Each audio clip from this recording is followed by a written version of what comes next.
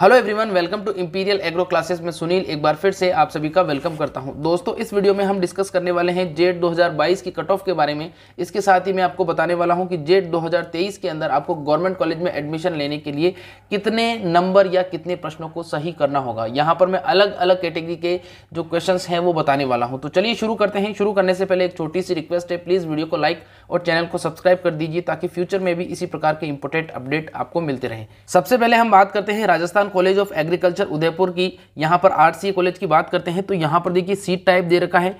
P का मतलब यहाँ पर हो जाएगा पेमेंट और एन का मतलब यहाँ पर हो जाएगा नॉर्मल ठीक है? तो यहाँ पर अपन अनरिजर्व की बात करते हैं तो अनरिजर्व में यहाँ पर जनरल की जो कट ऑफ़ गई थी, वो गई थी तीन सौ चौवालीस नंबर।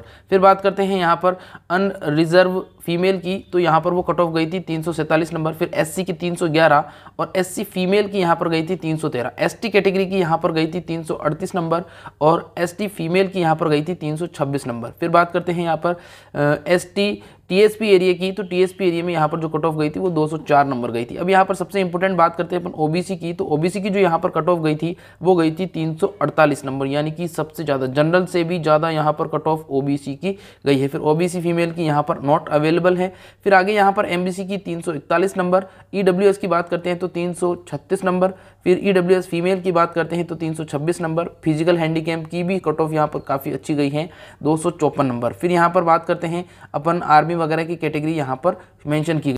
अब यहाँ पर बात करते हैं SKN college of agriculture Jobner की, जिसमें नॉर्मल सीट की बात करते हैं तो यहाँ पर गई थी 328 नंबर फिर यहाँ पर दे रखा है जो नॉर्मल सीट है आपके या अनरिजर्व फीमेल सीट है, उसकी 325 नंबर एससी की यहाँ पर गई थी दो इट्ठानवे नंबर और एससी फीमेल की दो नंबर इस हिसाब से यहाँ पर एसटी की, फिर एसटी फीमेल की और इस हिसाब से यहाँ पर जो ओबीसी की कट ऑफ़ है, वो गई थी तीन सौ इकतीस नंबर आगे हम बात करते हैं, यहाँ पर एमबीसी की कट ऑफ़ 315 नंबर गई थी और कुल मिला के यहाँ पर जो कट ऑफ़ है, वो अलग अलग कैटेगरी की यहाँ पर मैंशन की गई है। अब हम बात करते हैं जेट 2023 में ओबीसी और जनरल के स्टूडेंट को एक नॉर्मल गवर्नमेंट कॉलेज में एडमिशन लेने के लिए कितने क्वेश्चन सही करने पड़ेंगे? यहाँ पर बात करते हैं government agriculture college Pokhran Jaisalmer की। तो यहाँ पर जो जनरल की कट ऑफ़ गई है, वो गई है एक सौ इक्यानवे नंबर। फिर यहाँ पर जनरल फीमेल की कट ऑफ़ गई है एक सौ इक्यानवे नंबर। यहाँ पर सीधा मैं ओबीसी की बात करना चाहूँगा। तो ओबीसी की जो यहाँ पर कट ऑफ़ गई है, वो एक सौ इक्यानवे नंबर यहाँ पर गई है। आगे अपन बात करते हैं यहाँ पर एस सी की। तो एससी की जो कट ऑफ़ गई है, वो एससी की कट ऑफ़ यहाँ पर एक सौ अट्ठाईस नंबर और एससी फीमेल की कट ऑफ़ यहाँ पर गई है 115 नंबर। तो इस हिसाब से आप अंदाज़ा लगा सकते हो कि कितने कितने क्वेश्चंस आपको सही करने होंगे।